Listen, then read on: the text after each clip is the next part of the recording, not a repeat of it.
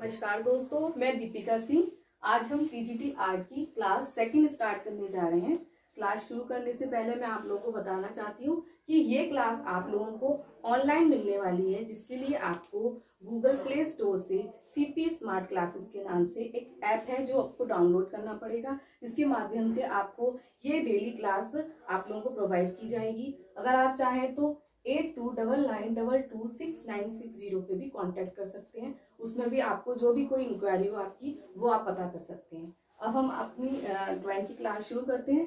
जैसे first class में मैंने आप लोगों को बताया था बेसिक बताया था कला के बारे में, कि कला किस भाषा का शब्द है, और कला का सर्वप्रथम प्रयोग कहाँ हुआ था कहाँ हुआ है, और कला की कला की जो कला, कल धातु से उत्पत्ति हुई है, ये सब बातें मैंने आप लोगों को बेसिक में बता दिया था। आज हम स्टार्ट करते हैं इसकी सेकंड क्लास जिसमें मैं बताऊँगी कि कला की परिभाषा। सबसे पहले हम स्टार्ट करेंगे कला की परिभाषा।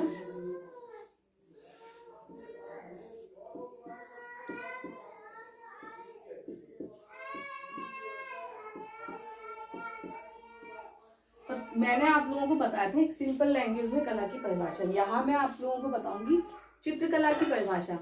देखिए, जैसे कि हम लोग अपने भावों को अभिव्यक्त करते हैं, तूलिका के माध्यम से, पेन, पेंसिल के माध्यम से, अगर हम अपने भावों को किसी समतल धरातल पे, जैसे कि ये ब्लैक बोर्ड है, अगर मैं इसमें अपने अपने भावों को अभिव्यक्त करती हूँ स्टैंड के माध्यम से, या मैं किसी वॉल पे या किसी अन्य धरातल पे, अगर मैं तूलिका के माध्यम से पेन से ब्रशिस से, किसी भी चीज़ से, अगर मैं अपने भावों को अभिव्यक्त करती हूँ तो ये चित्रकला के अंतर्गत आएगा।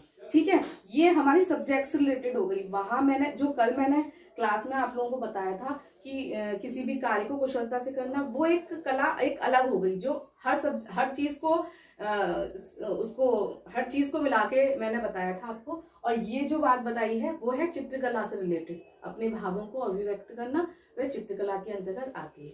इसमें मैं आप लोगों को बताऊँगी, कुछ विद्वानों ने डेफिनेशंस दी हैं, जो इस टाइप के क्वेश्चंस एग्ज़ाम में पूछ लिए जाते हैं। तो ये आप लोग नोट कर लीजिएगा। सबसे पहले है प्लेटो के अनुसार।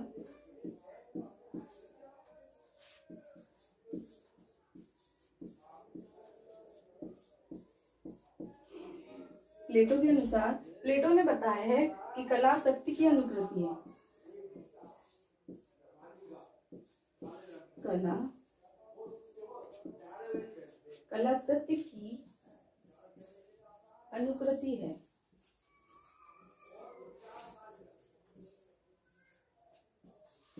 तो आपको ये वाला ये वाला जो शब्द है, इसको आपको याद रखना पड़ेगा, क्योंकि क्वेश्चन में, उसमें पेपर में ये पूछ लिया जाएगा प्लेटो ने या कला सत्य की अनुकृति है या किसने कहा है?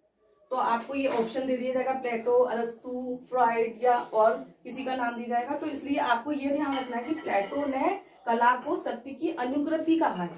इस बात को आपको ध्यान रखना पड़ेगा। सेकंड नंबर पर मैं बताना चाहती हूँ कि अरस्तु ने अरस्तु के अनुसार अरस्तु ने बताया है कि कला अनुकरण है। कला अनुकरण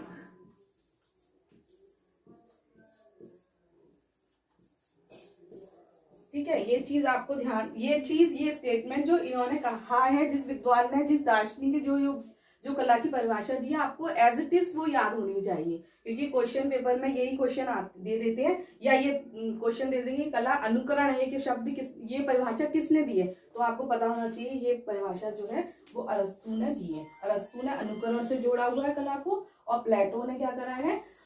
अनुकृति से जोड़ा है। तो इस बात को याद रखिएगा। आगे हम देखते हैं, नंबर तीन, फ्राइड के अनुसार।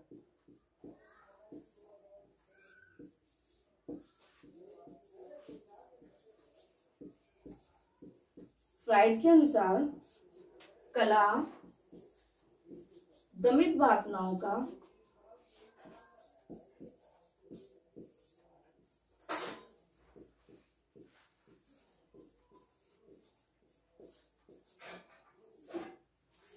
फ्राइड के अनुसार कला, दमित वासनाओं का उभरा हुआ रूप है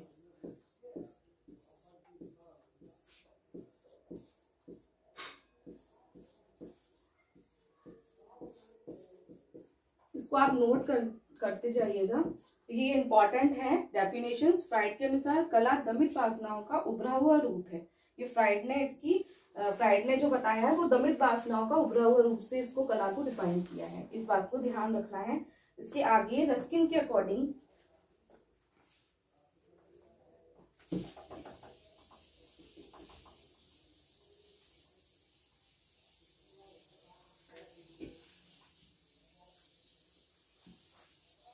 आगे हम देखेंगे।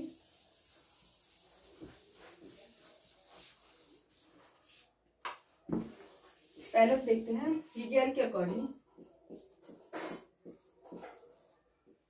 हीगेल के अकॉर्डिंग क्या है कि कला आदि। हीगेल ने बताया है कि हीगेल ने बताया है कला आदि, भौतिक सत्ता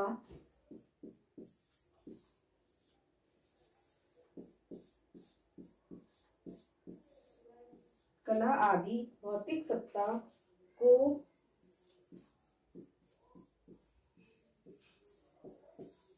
कला आदि भौतिक सत्ता को व्यक्त करने का को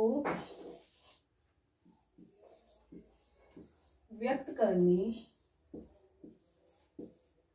का माध्यम है।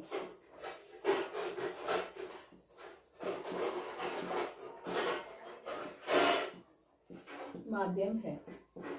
ईगेर ने बताया है अपनी डेफिनेशन में कि कला आदि भौतिक सत्ता को व्यक्त करने का माध्यम है। इससे इसलिए आपको क्या करना है, ये भौतिक सत्ता जो जो वर्ड है, इसको आपको याद रखना है कि ये वर्ड का यूज़ किसने किया है? हीगेल ने किया है। ठीक है? इससे आगे हम एक, दो डेफिनेशन और देख लेते हैं, जो कि बहुत इंपॉर्टेंट है, अक्सर एग्ज़ाम में पूछ ली जाती है। इसके बाद है? रस्किन के अकॉर्डिंग रस्किन के अनुसार कला में मनुष्य कला में मनुष्य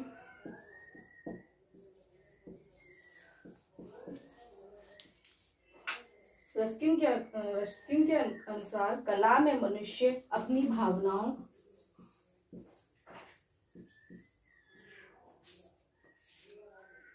अपनी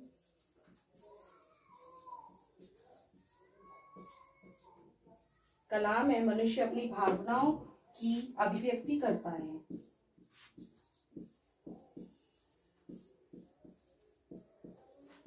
अभिव्यक्ति करता है।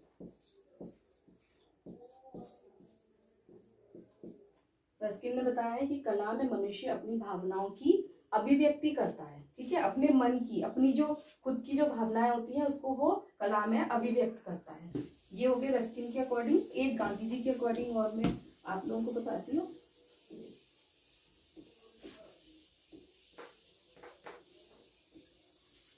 गांधी जी ने बताया है,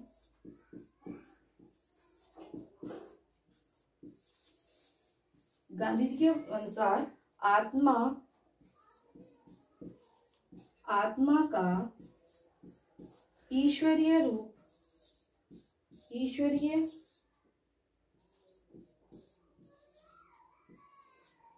आत्मा का ईश्वरीय संगीत, कला है।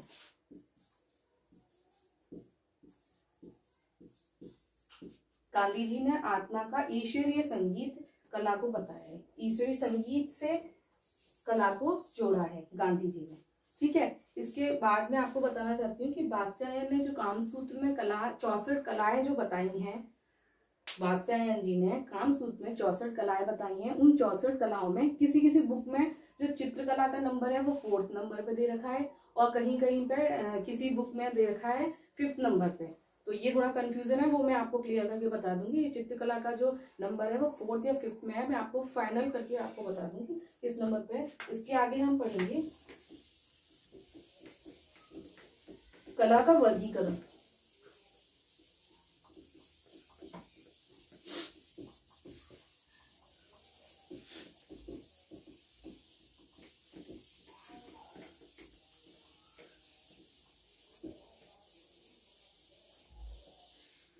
हम आगे बढ़ते हैं कला का वर्गीकरण।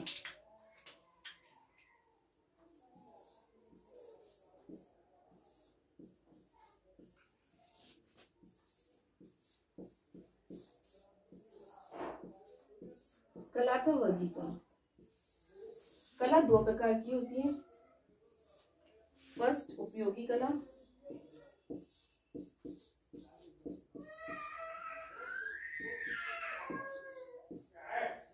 और सेकंड ललित कला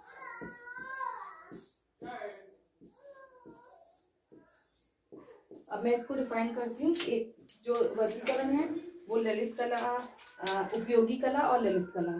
ठीक है? इसके बाद मैं आपको बताती हूँ, जैसे कि उपयोगी कला है, इसको नाम से ही मालूम पड़ रहा है कि जो कला हम उपयोग करते हैं, वो उपयोगी कला के अंतर्गत आती है। जैसे कि हम जो दैनिक जीवन में जिस कलाओं का प्रयोग करते हैं, वो उपयोगी कला के अंतर्गत आती हैं। और ललित कला के बारे में मैं बताती हूँ। पहले हम उपयोगी कला को डिफाइन करेंगे। अब मैं आगे नेक्स्ट क्लास में आप लोगों को इसके बारे में बताऊँगी।